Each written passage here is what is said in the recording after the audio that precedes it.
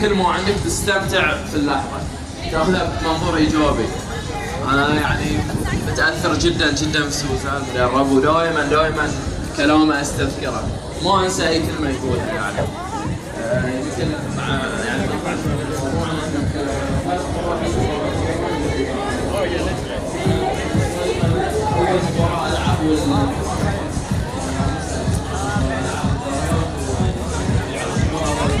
ألعب وال- عقب ما رجعنا من تصفيق كان في ضغط في ضغط شلون سوزا قدر يوصل للاعبين ان الضغط نحاول ضغط إيجابي. قال قال كلام ما انساه يقول اليوم كل هالجمهور اللي حاضر كأنه كأنما اللاعبين داشين مسرح ويقدمون فنهم فيه. الله. فشوف شلون فيقول اليوم كل الجمهور اللي حاضر دافع فلوس وداش المباراة علشان يستمتع في مواهبكم في في فنياتكم. فكل اللي عليكم انكم تدشون وتطلعون أحسن ما عندكم. تستمتع. أفضل نسخة لجاسم أفضل نسخة لسمع أفضل نسخة لفلان فلان. فشوف شلون تحول الضغط الجماهيري والمطالبة بالفوز إلى إلى شيء إيجابي. فهاللحظة ما أنساها ابدا يعني.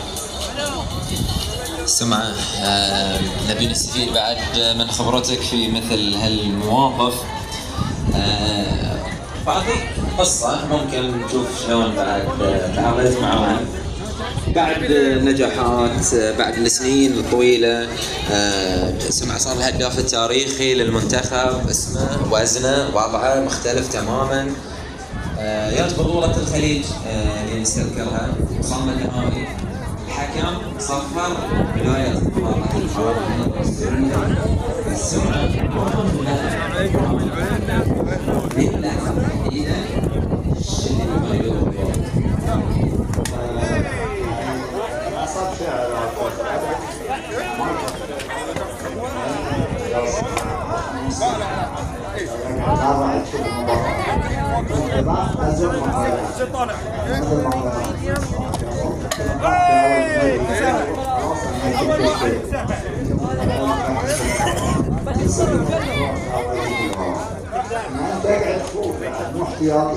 كابتن ما بدي ادخل ممكن تغير محتاج صاير العاب في صار على اي لاعب على في جميع الالعاب يعني أنا كاس الخليج آه، ما عانيت فيه بس في المباراة النهائية عانيت فيه في كل المباريات. بس أنا جبت لك المباراة النهائية اللي على بعد 90 بالضبط دقيقة يمكن أصعب مرحله من المباراة النهائية إن هي عقب هدف التقدم اللي إحنا سجلناه.